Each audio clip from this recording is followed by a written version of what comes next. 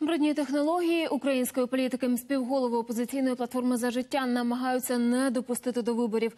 До суду надійшов позов, аби ЦВК скасувала реєстрацію бойка кандидатом у народні депутати. Подробиці в сюжеті.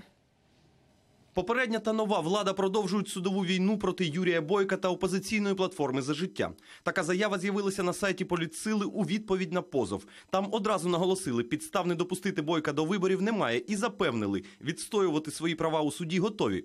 Політологи назвали дії позивача брудними технологіями. Це скоріше трошки нагадує істерику, е, тому що це дуже коротка виборча кампанія. І якщо ми з вами подивимось на соціологію, перше місце це слуга народу, друге місце це опозиційна платформа за життя, де, власне кажучи, політичним лідером номер один є Бойко Юрій.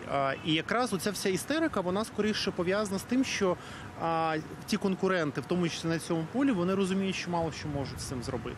І тому от використання таких, м'яко кажучи, сірих або чорних технологій, спробу ввести в оману, там якісь газети, якісь да, такі провокаційні листівки. Ну це всі речі будуть використовувати. Інша справа, що а, знаєте, я не певний, що це буде працювати.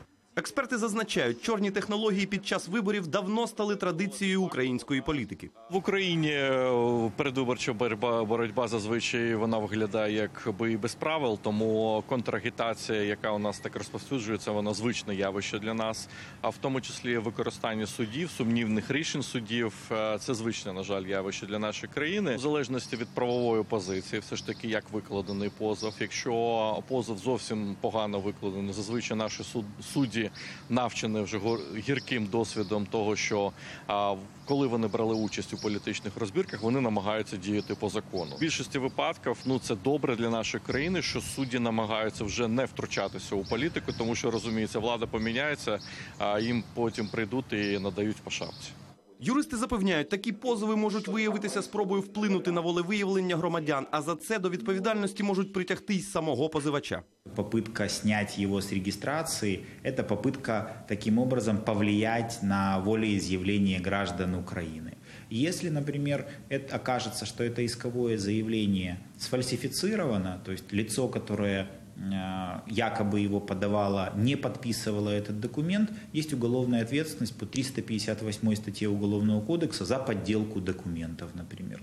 Если э, увидим, что подобные действия в купе с другими действиями э, являются попыткой влиять на свободное волеизъявление граждан, влиять на демократический избирательный процесс, в таком случае Уголовный кодекс Украины предусматривает уголовную ответственность за подобные действия. До того ж, пояснюють юристи, перед тим як реєструвати на вибори, члени ЦВК ретельно перевіряють усіх кандидатів на відповідність закону. Тож цей позов просто спроба створити додаткові проблеми у передвиборчій кампанії.